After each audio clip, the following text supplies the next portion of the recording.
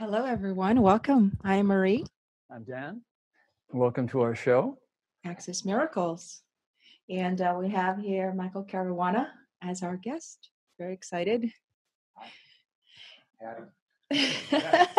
and um, just to ground down, you know, as an anchor for the show, which is what we've been doing, we are holding on to as kind of our platform the fourth miracle principle, which I'm going to read right now.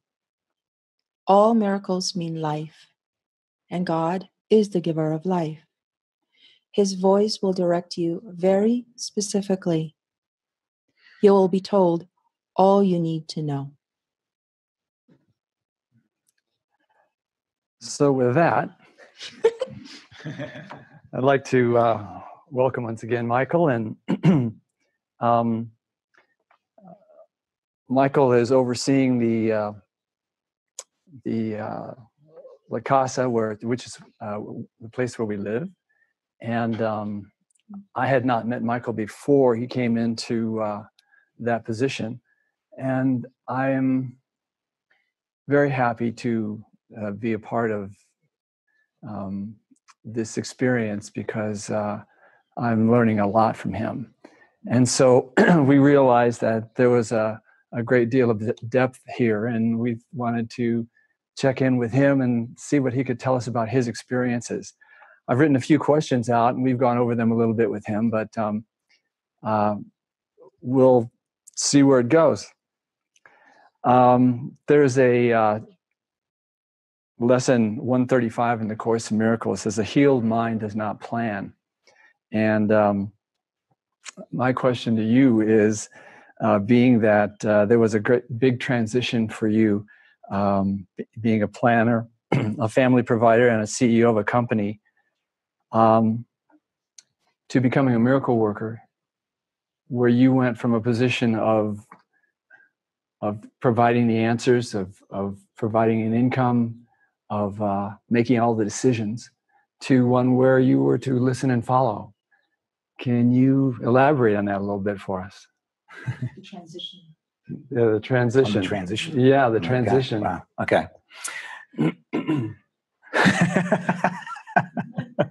where to start and where to go? Well, the uh, yeah, I was very wound into the world. It's it uh, very much involved, and I was studying the course for five years before I even went to a course group. And when I came across this course group, uh, it was like a, a big light bulb went on like uh, okay i've really got to experience this course of miracles. I, I love the languaging of the course and just love the i love being in meditation around it and contemplating it and what have you but then it was time to really apply it. And i didn't know how to really do that. Um, i thought i did. I thought i was doing it but i really wasn't. And uh, joining course in miracles study group was helpful and i learned about david at that very first meeting and so the, the subsequent months, this was early 2009. By late 2009, I was really, I felt like I was really desperate to experience the course a lot more. And I, and we had this retreat in Australia where actually Jason and Kirsten came, and um, I don't know something. Another light bulb came on at that point where it was like I needed a mind training partner. That's what that's what I learned from that actually, and uh, a mind training partner was a very helpful thing. And I, I wasn't even sure what that was exactly, but I knew I wanted one. it was like a buddy, you know, someone who wanted to join the awakening with me. So I went to my wife, my then wife, and said, Do you want to be my mind training partner? She said, Yep. And uh, we did that for a few weeks, and it really didn't work out that well. We're on two different paths, actually, but we gave it a good go. And from there, it was like a, it was like a movement. Uh, there was a movement that I needed to make out of that marriage and out of the um, my life there, which was, you know, I prayed on very a lot actually, and I joined with Mighty Companions and became clear I needed to move on. But so it was really just being in touch with the spirit and getting really clear on what my desires are. What did I really want?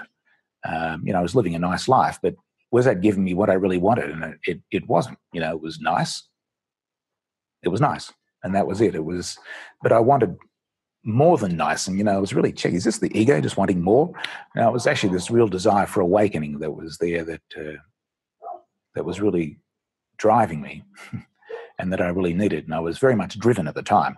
And so the Spirit was using this, uh, this driving and this planning that it was there to be able to move forth. My idea of being in the present moment back then was, was to plan. Actually, if I was thinking about the future, then I was present. Uh, if I wasn't, then there was something wrong, you know, because especially the, the business that I'd set up, was like the sales needed to have now happen now, so the cash flow was really happening uh, way down the track. So if the sales weren't happening now, then I didn't have cash flow down the track and, and this sort of, sort of thing. And so it was like this this planning was happening all the time, you know, even just planning functions in the future and this sort of thing. And and I just didn't really know how to be fully present. Although when I meditated, I actually felt this presence, but I wasn't able to bring that into my everyday life. And this and the guidance then really stepping in and saying, okay, I want to bring in this this guidance. I want to bring this presence of mind that I have when I'm when I'm meditating and when I'm reading the course into everyday life, because it really seemed to be separated. My work life and my family life was different to my meditation and contemplation and being with the, the course. So that was it. Actually, actually, being really much, very, very much in tune with the spirit as much as I could, and then joining with the mighty companions. You know, um, a mind training partner came in that was very, very helpful. That deep desire, someone, you know, Melanie came in who was amazing and uh, very, very helpful. Along with the mighty companions, I just found that very important. It was a very important step for me to be able to move on from uh, this place where I wasn't sure how to be fully present to be able to become much more present with a, having a shared purpose with someone. So, and I could just move on to. you got other questions, but I think this is an important point that uh, you know we actually an important part of this, if you call it transition, but certainly the progress in my mind was doing the mystical mind training program with Melanie. And so to have this mind training partner, being able to have a buddy to do MMT, and at the time it was amazing, and now it's progressed way beyond what that was at the time, uh, is incredibly helpful. You know, and I found before I came to community, doing that program with a buddy was amazing. So whether you call that a plug or something, oh, but it was actually very real for me at the time, um, and I highly recommend. Yeah, mystical mind training. It was it was really helpful with a buddy. You know, so. Wow, that's that's uh, that was something I hadn't experienced uh, before I came in the mystical mind training, and uh, we've gone into it somewhat since being at La Casa, hmm. and uh, it is really powerful. Um, terms I've heard before and and experiences and so forth, but actually to to go into it and study it is hmm. really helpful. it's something I think that um, is one of the ways of uh, collaborating that uh, is available to everyone out there. And um, uh, I think that that's that's probably a, a, very strong way of of keeping in touch with uh, with the community, with because it is really a huge community. It's it's a collaboration. We were talking about it. It was something that really struck us. Yeah, I think you know the community that we're speaking about isn't about the form which is in Mexico or in Utah. You know, this is the community of that one mind that says, you know, I, I want to keep remembering that I am the child of God. You know, I want to keep remembering my innocence. And when you link with us through, you know, social media, whether it's LM Virtual TV or you keep watching things like David's talks on YouTube or listen to, we have weekly things that go on, you know, movie gatherings that are immediately put online for people to listen to and to be a part of. Um, it's it's um, it's available to everyone. So this is all about everyone having access to the extension phase that Living Miracles is in. So yeah, this is this is an invitation for everyone. Nobody is exempt from this, and everybody can access it for themselves, so that we can hold the space for one another. Um, I had another question um, that had to do with uh, learning how to uh, how to trust, and that was something we touched on just briefly. Um, and you'd given a couple of examples, and I wonder if one of them being the trust walk, and which was great. I wonder if you could talk about that a little bit. This is a good one. Yeah, well, I think I'm guessing the point of this is to see how where I was yes. and how things can actually shift. If I can trust, then anyone can. I think that's what this is because I was on a trust walk uh, at a devotional in uh, late 2009 with Melanie, and you know you have the blindfold on and they lead you around and you you know you, you trust you're meant to trust them as they take you around and and you just feel this connection with your with your brother. Well, I um I was trying to lead her while I had my blindfold on, uh, not trusting at all. And um, when I took the blindfold off, I said, uh, "Don't get used to this, girly." so I was.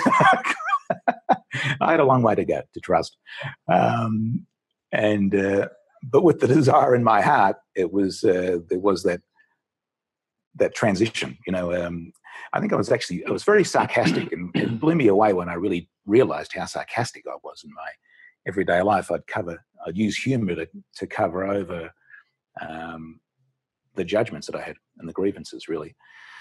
And so that was quite an undoing. But again, with the desire and um, really that single focus, like let thine eye be single, you know, from the Bible, and being really that desire to be aligned with the spirit and joining with mighty companions was really was this development of trust was this undoing of the self or certainly this you know i had a lot of layers to get rid of just to start start getting slightly in tune with anything. Um, but it was very very worthwhile. As i can see it just the over the time and and the desire has been the most important part of this. Yeah Right. Yeah, I, I think I I think I just want to segue and share for people like what my experience of you that I'm so glad you shared that with us, Dan and I yesterday, because it's such a contrast. It really is, because my experience, our experience of you at La Casa is, you know, for somebody who came from this context of business, which is time is money, my experience of of Michael is such patience. Time exits my awareness because he just sits there and allows whatever's rising from from whoever it is that's expressing. And yeah it's just such yeah such presence such patience.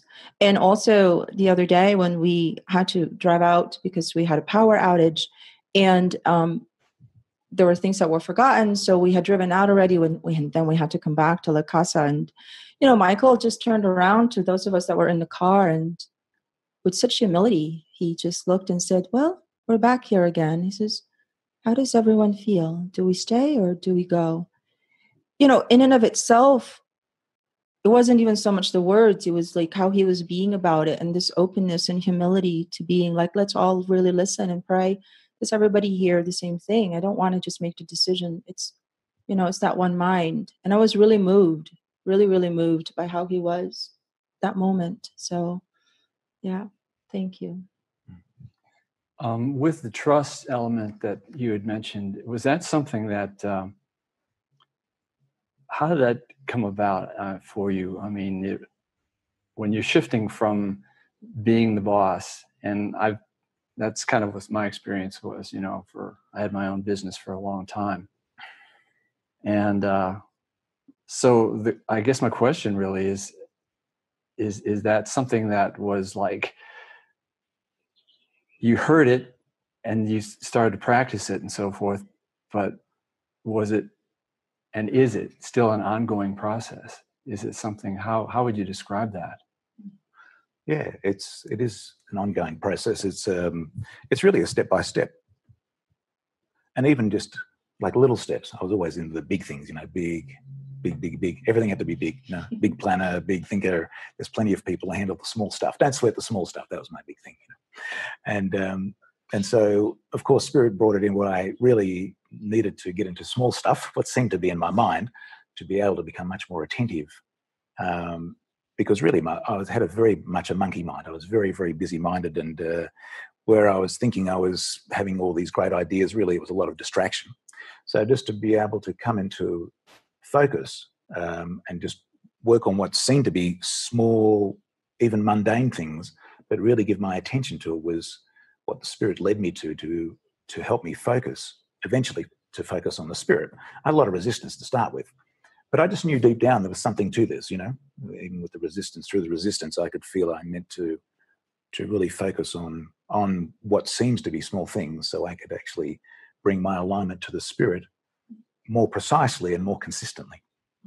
So that's been really good. The mind training is for that, you know, and this word that I really had a big problem with mind training. Yeah, it sounded like brainwashing. And yet, you know, when I really learned that we are brainwashed by the ego, you know, the, the idea of, you know, that we could be separated from God is a brainwashing, you know, and then spinning out a cosmos. And so we need to be, if you like, mind trained instead of with the ego, with the spirit. And so it's a moment to moment thing, you know, in, in each moment is that we're either thinking with the spirit or thinking with the ego. We're in wrong mindedness or right mindedness. It's a big practice we do every day mm. there at La Casa. In each moment, really, we're really on it because it's just so important, you know, and it's so easy to go into wrong mindedness. It's our default position, if you like, in the world. And, uh, and that's what we've been trained to do. So now we're training our mind for the default position, if you like, for our for that consistency to to go into right mindedness instead of the wrong mindedness, where we can really be in our right mind. And the miracle all the time can be as easy and, and as natural as breathing. That's what we want to come to. And that takes training. That's the mind training, you know, that's, and that's very worthwhile. It's the only worthwhile thing to be doing, actually. But we can do it anywhere and everywhere. Like it's not everyone needs to be in community. It's it's where you are right now. You know, to be fully present. You know, to be uh, not distracted with with uh, the future planning or the past events, the memories. Just to be here fully present now is is the training in each and every moment. So it's not rocket science. It's actually really quite simple, but it's a it's a training. It's a it's mindfulness that needs to happen to be able to do this. Um, yeah. yeah. Go ahead. yeah, I think what what I can hear for myself when you say that is how much of my mind is always involved in hypothetical hells. You know, there's all kinds of like, oh, but what if, or oh, but what happened then? It's like it takes a lot, and on the surface, it seems like it's I don't know. Um, harmless, but actually that's where hell is. That's I find that's where my hell lives, you know, and it's I yeah, definitely. And for somebody who as a CFO, I mean, I was in finance myself. I was reporting to a C- CFO as well. It's like oh, finance is all about hypotheticals, you know, budgets and looking at past financial statements. You're never looking at the present. And to actually relinquish that is, yeah, that's pretty significant, mm. you know so I don't know. I'm going to segue into the next question here, Dan, about inspiration. How do you feel about that? Inspiration. Let's see if I'm inspired here. okay. Here um,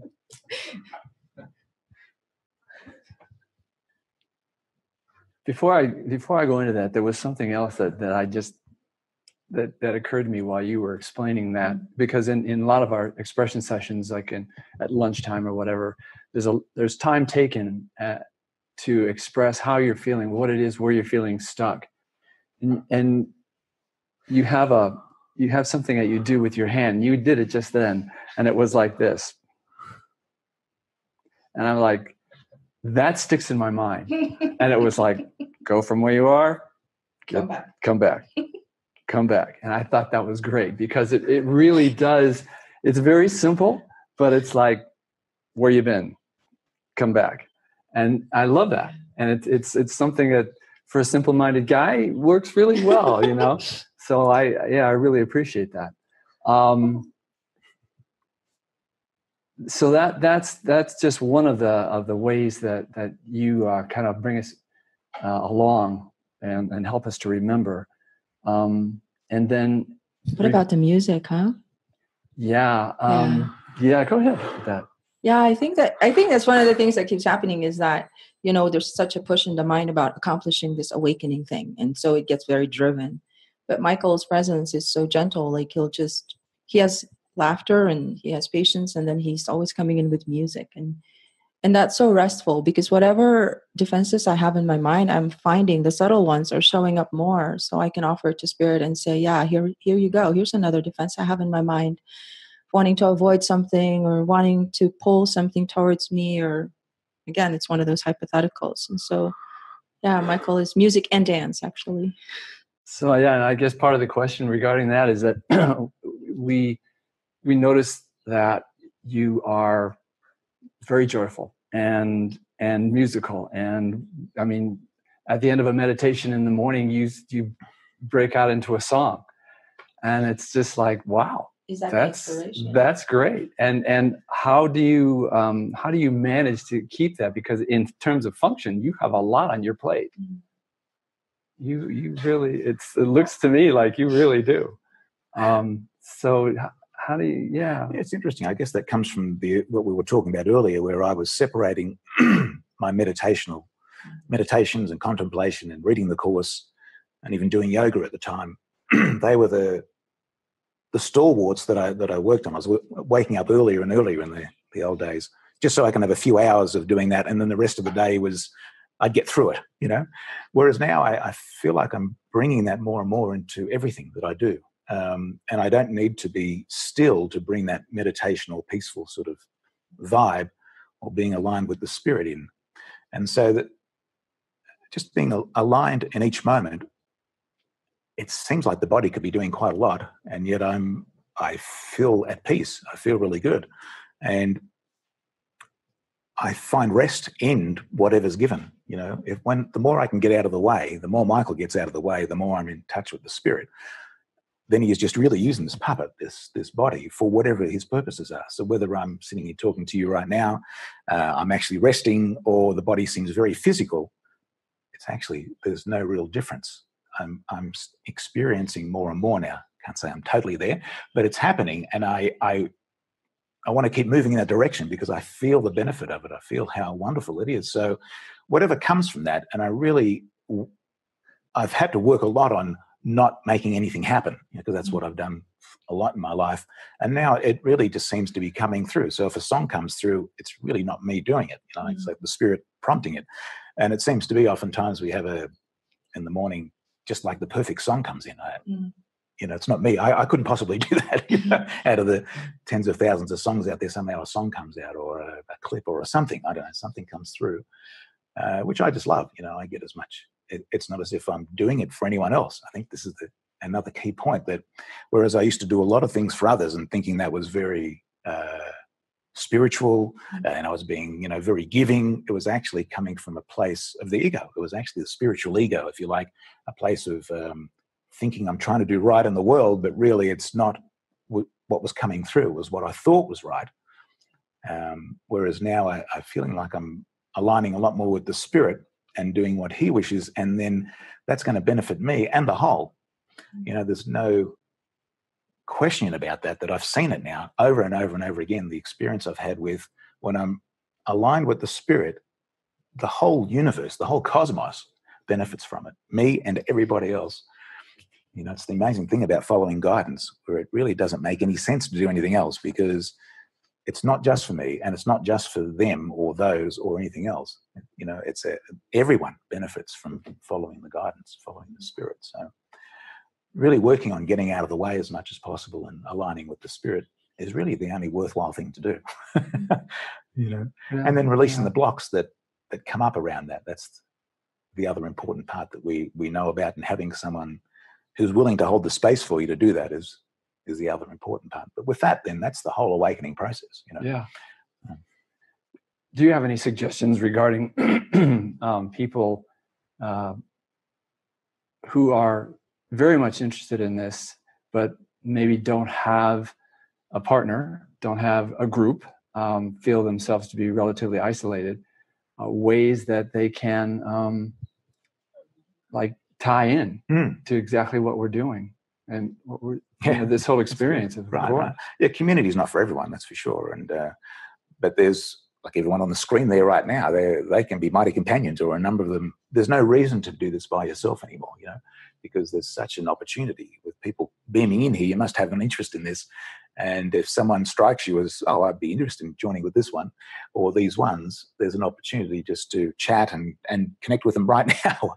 so there's that, and I think through Facebook, Facebook is an, can be an amazing tool. I think there's a lot of studies how destructive it is and everything else. And of course, anything given to the ego can be destructive, but anything can be given to the, but it all can be used by the spirit. The spirit can use anything in form. So Facebook can be very helpful. Um, and uh, yeah, there's various ways of connecting in that can be very, very helpful. So Yeah, it seems like a matter of determination. Yeah. Yeah. Yeah. You know, and linking into these shows, of course, is great. We have the online retreats and uh, linking in any way you possibly can, I think, is really helpful. I wish I had this back, uh, Yeah. you know, when I was starting out, because I, yeah, it seemed very difficult at the time, whereas now it seems a lot easier. So that there really is no excuse. If you really want it, then it's available for you, you know, and just reach out. Yeah, that's great. I love that. Um, you have something to say? Nope. Okay. Francis Jew said, uh, and this, and this Zoo. Zoo, yeah, she said that um, that when inspiration is greater than fear, you take the leap, and whether or not that what that looks like exactly uh, is is specific for each of us. It's just different for everyone. But um, did you or do you still see that as being a a, a significant move for people? I mean, it seems like fear. I've heard it a lot. You know, I, I really am feeling that I, I need to do something, but I'm afraid. I'm afraid to move. I'm afraid to go back. I'm afraid to go forward. I, I feel like I'm stuck. What what what would you say to someone who comes up with that dilemma? Yeah, it's really just praying, and and if you're given a step, just to take that step, no matter how small, you know. Um, that's really what it's about. Fear is going to come up. It's it's the ego. It's going to come up, and so just knowing it's it's going to be there, I don't know. For me, was incredibly helpful because I thought it was a problem, but it's just not. Fear is going to come up, and it's the veil that the ego puts up. But when you take the step, no matter how small, you take a step towards what's given, what's guided, the veil will come down, and the fear will come up. Okay, and again, mighty companions can be helpful for this, but just take the step, no matter how small it is. Just do it, and then take the next step. I, I give the. Um, I remember in the world when I was very much, and I used to say this a lot to people when we used to took on these great big projects. It's like, how do you eat an elephant? One bite at a time. And so it's a similar thing in awakening. And then I guess it's really just taking the step. And what seems to be a concrete wall really is just that that thin fog. And on the other side is the light. And so just take the step. That's it. It's just about taking the step. What was your inspiration? What is it right now? What inspires you? The spirit, really. Mhm. yeah, I just want to. It's the awakening. It's you know, mm. God is what is my inspiration. Mm. That's my whole inspiration, and whatever's given to serve that is what inspires me in the moment. Mm. And it could be anything, whatever it is. Now, I'm I actually don't mind whatever it is, whether it's cleaning a dish or doing what seems to be a big project or this right now. It all is very, very inspiring if it's given in the moment. So, yeah Thank you. yeah. wow, is that half an hour? That's amazing. I know. We're just the train's just I got told you it'd go really fast. Yeah, it's amazing. Well, and I and I think we covered all our questions actually. Oh, really? Well, okay. Amazingly, miraculously. Yeah, it's probably nothing else to say. That was everything. We can- just do that. Yeah, it's always the question: Are you complete? Well, it kind of feels that way.